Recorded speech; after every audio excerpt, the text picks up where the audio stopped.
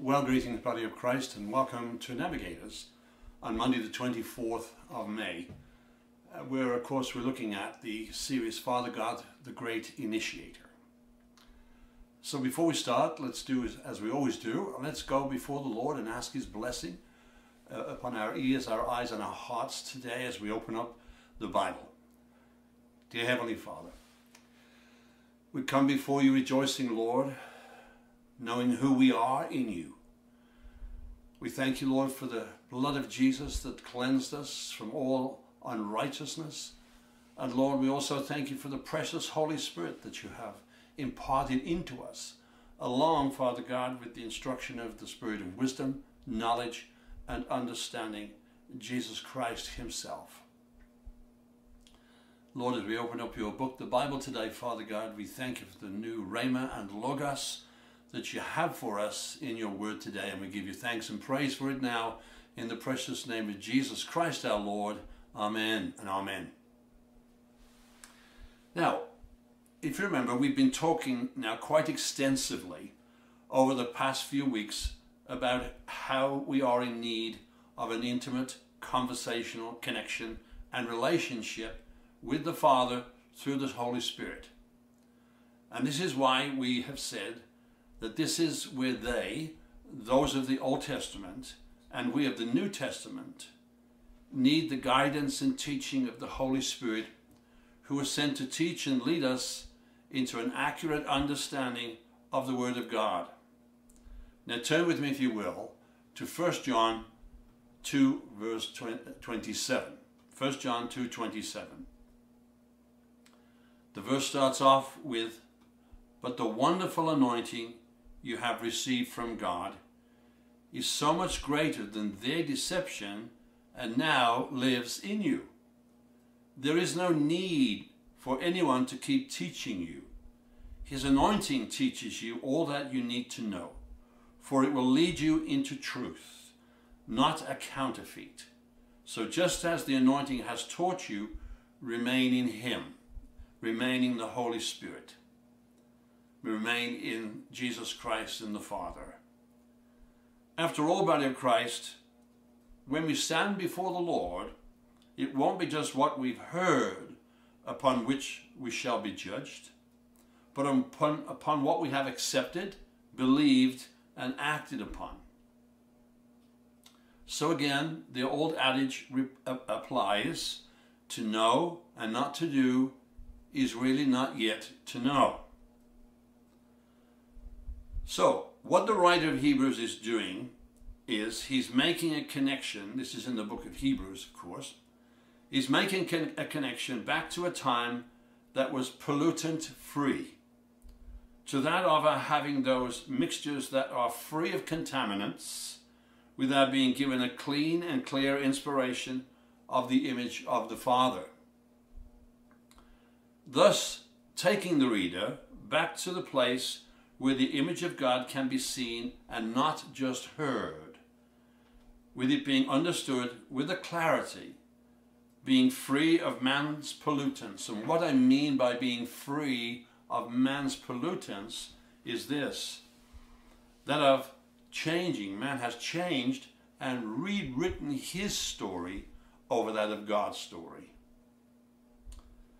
Now, I'm going to try to introduce you to perhaps a new word, and maybe it's not a new word to you. And it's polytheistic. Polytheistic. Now, it saddens my heart greatly to see and to hear what I considered some of the greatest word preachers of our time, who find it very difficult to explain the need for private jets that cost double figured millions of dollars. One of whom, I'm sad to say, I respected as I began to learn about the word of faith well over 35 years ago. Now, as reported on camera, his inference was that he didn't, now I'm going to use his very own words as I quote, I don't want to get into a long tube that's full of demons. referring, of course, to a commercial flight. Now, I personally find it heartbreaking and devastating to see that this consumption of wealth and privilege explained away so carelessly and callously being derogatory to the believers in the body of Christ of these two men, of whom one was asking his followers to pay for, or at least at best to help pay for a $54 million jet while parading on the wall behind him all of the jets he had previously owned. Now you can do a search for yourself by punching in to Google preachers defending their need for aeroplanes. Now it would seem, and this is where this new word comes in, that there is a polytheistic mentality that has entered into the church that can be nothing more than one of the pollutants that we are talking about and have been talking about. Now let's be frank. I never thought that I would see that the consumption of greed and hear these excuses for personal greed from these two men of God. One of which said, and I quote again, if Jesus were here today, he wouldn't be riding on a donkey. End of quote. No, he would be using these great amounts of money mentioned to feed and perhaps house the poor. Now, this isn't, of course, something new within the history of the church. We see this kind of pollutant many times within the Word of God, and there's basic, there basically isn't any excuse for it other than personal greed. There's so much polytheism and pantheism within the body of Christ today that bears a great resemblance and parallel to the Old Testament believers in their worship and acceptance of many gods.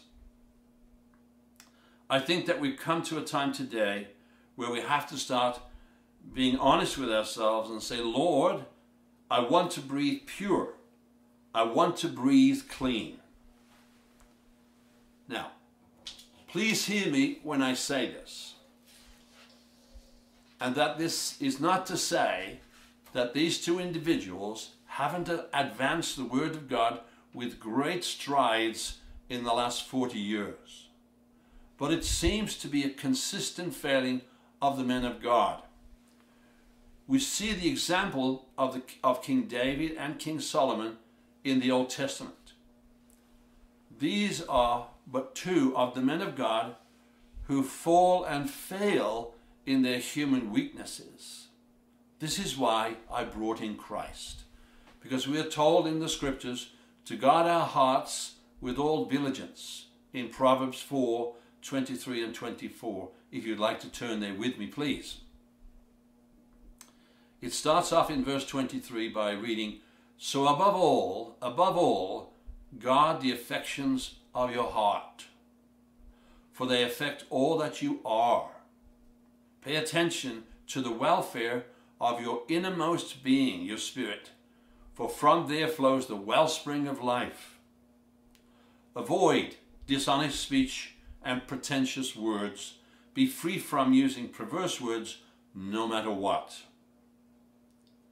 This means, of course, that as you breathe in the message, you can feel a little better, but alas, breathing in certain messages you can also be breathing in a lot of misguiding instruction as well, questioning the authenticity of their hearts.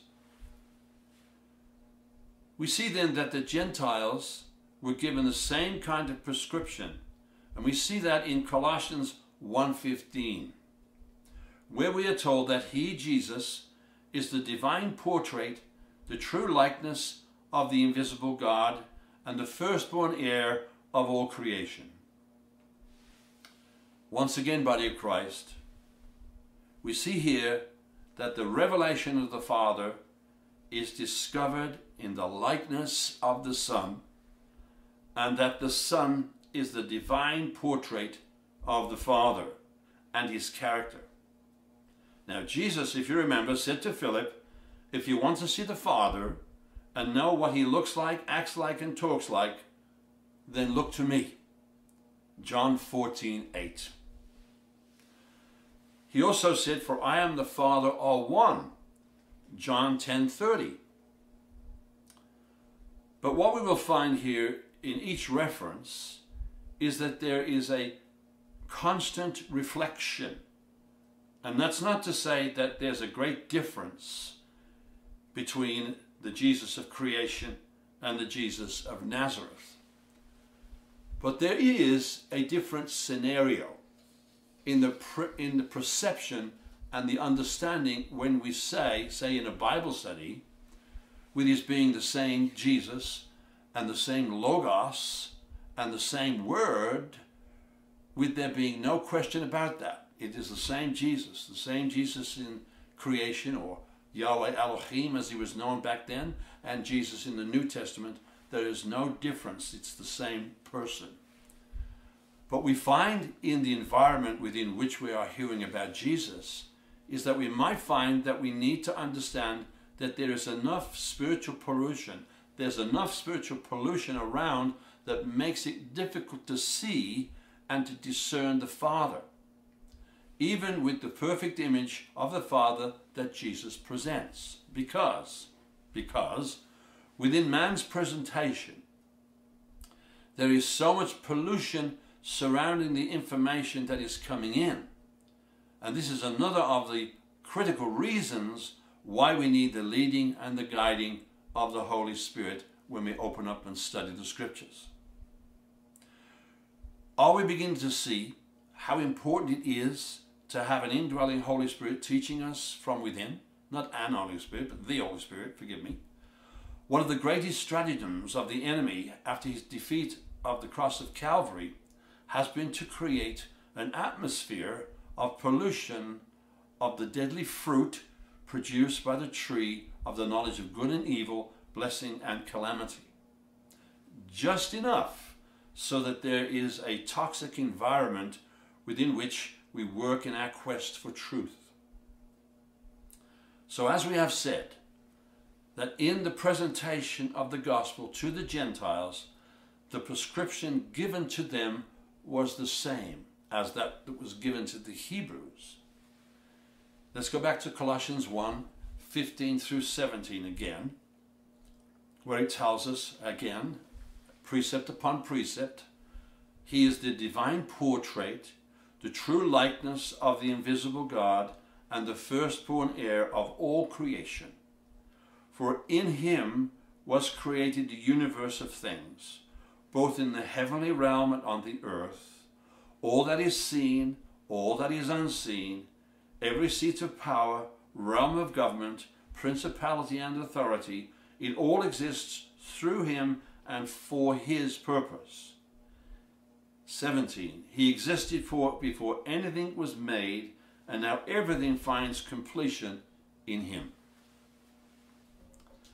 So it's very important, body of Christ, if we're to have any chance of a breakthrough, of the pantheism that's, that, is, that we're drowning in and the fog of the, of the pollution that's descended upon the church, it's vitally important that we understand this that Jesus that, that the Jesus that we're talking about and highlighting that he the very same Jesus of creation who was with God in the beginning and was God and being the very same Jesus that was born in Nazareth or born in Bethlehem forgive me who lived up and grew up in Nazareth, and with his starting his early earthly ministry from there. We know that in Isaiah 41:10 it says, "Fear not, for I am with you." And the Lord and the Holy Spirit, of course, are always with us, as is the Father. It's very important that we can make this connection between the Jesus of creation and the Jesus of Nazareth. In the beginning was the Word, Jesus, and the Word was with God, and the Word was God. And the Word became flesh and dwelt among us. John 1.14 This is the very same Jesus who is known in the Hebrew as Yahweh Elohim. That was with Elohim, God the Father, from the very beginning. Now it's also very important that we're able to see we're able to see this, digest it, so that we can rid ourselves of the mild portrayal of Jesus that we were given while in children's church ministry. So, the true image and the true character of God, as seen by men, is seen in its clarity at creation. At creation. If there's a difficulty in discerning the clarification of who the Father is, you can go back to the creation, back to the beginning, back to the foundations of the earth. And what will happen when you go back there is that you'll be able to see the fog of pantheism dissipating. And we'll truly begin to see what we should be seeing and looking at in the message of the gospel. Because the gospel, before it reaches our ears, has had to pass through many years of pantheism, polytheism, and the fog of spiritual pollution before it reached us. Now turn to Ephesians 3, if you would, and let's have a look at verses 1 through 4. Beloved friends, because of my love for Jesus Christ, I am now his prisoner for the sake of all of you who are not Jews, so that you will hear the gospel that God entrusted to me and that I share with you.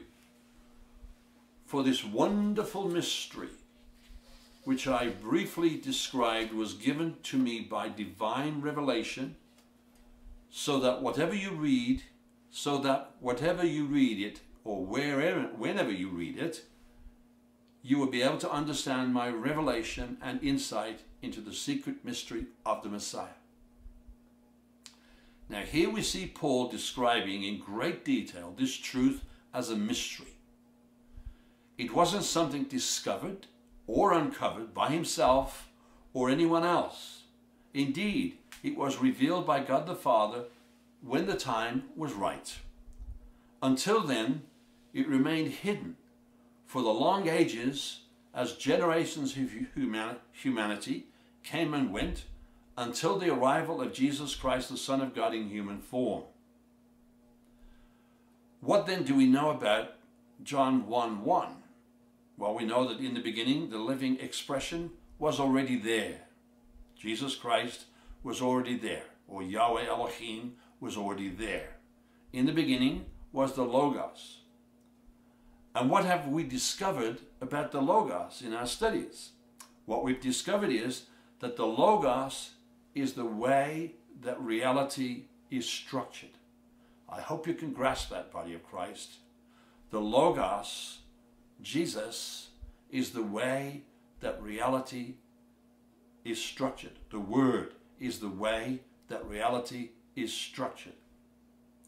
So, in the beginning, the Logos is the way that reality was structured. And the Logos was with God, and the Logos was God. And all things were made through him.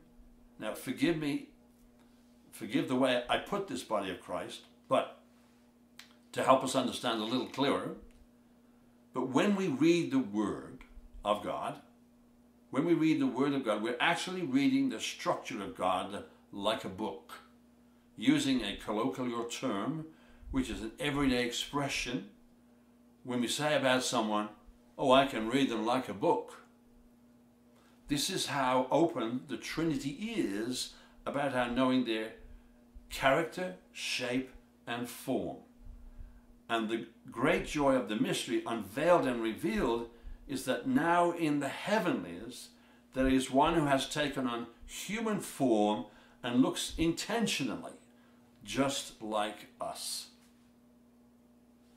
So, what we have is this in the beginning was the way that reality was structured, once again. So, we find ourselves in a time of questioning and discovering the rea- reality of what eternity is. And, uh, and for centuries now, since the birth of the church, we've had many theologians and historians telling us about the structure of reality and creation. And what we found, body of Christ, is that we are called, we are called, you and I are called to sort out the wheat from the chaff when it comes to man's explanation of the structure of reality. Now, listen, the most important issue here at hand is that you yourself and I myself is that we must search out the structure of reality for ourselves. We must come to know Jesus ourselves in and on an intimate personal relationship and level. For what is most important is that when we stand before Christ, that we have that, that we have done all that we can do to understand his nature and character and his being.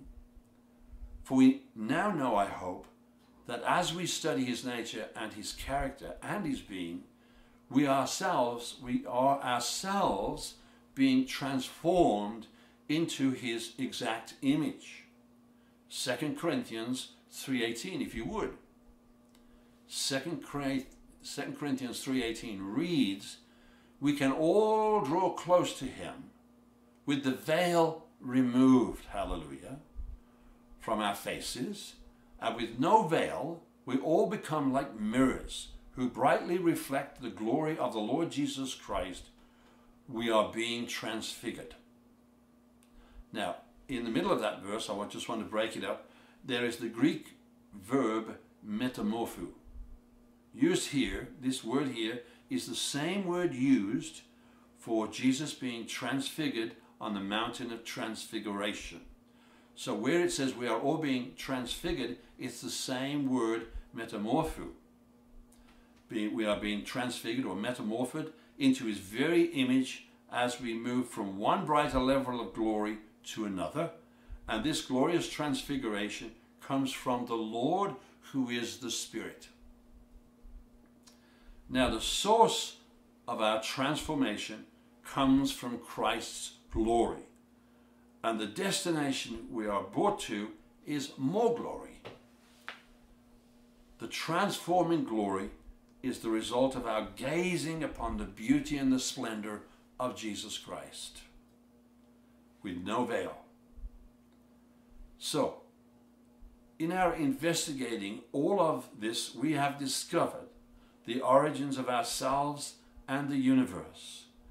We have an opportunity to relocate ourselves from the smog and fog of pantheism and polytheism with the help of the Holy Spirit and the Spirit of wisdom, who is Christ Himself. Isaiah, if you would, Isaiah 11, 1 through 5. Listen to this, body of Christ. We're going to bring the message to a close with this rendering here. The cut off stump of Jesse will sprout, and the fruitful branch will grow from his roots. The Spirit of Yahweh will rest upon him, the Spirit of extraordinary wisdom, the Spirit of perfect understanding, the Spirit of wise strategy the spirit of mighty power, the spirit of revelation, and the spirit of the fear of Yahweh. Verse 3 He will find his delight in living by the spirit of the fear of the Lord. He will neither judge by appearance nor make his decisions based on rumors. With righteousness, he will uphold justice for the poor and defend the lonely of the earth. His words will be like a scepter of power that conquers the world, and with his breath he will slay the lawless one. Verse 5 Righteousness will be his warrior sash, and faithfulness his belt. Body of Christ, once again I fear for all of those who are gathering great fortunes of wealth unto themselves, without giving great and thoughtful consideration to the fourth verse that we have just read. For those who are serving the Lord will find their delight in the Lord. For the Lord will uphold righteousness, and applaud justice for the poor, defending the lowly of the earth. His words will be like a scepter of power that conquers the world, as and as we see, with his breath he will slay the lawless one or the lawless ones. So we'll leave it here today, body of Christ, and I hope that we truly ponder all that we have discovered and read in today's Word of God. I pray the Holy Spirit is ministering and speaking to each and every one of us about our commitment to the Word and unto the Lord. So until next time, body of Christ, may the Lord God bless you.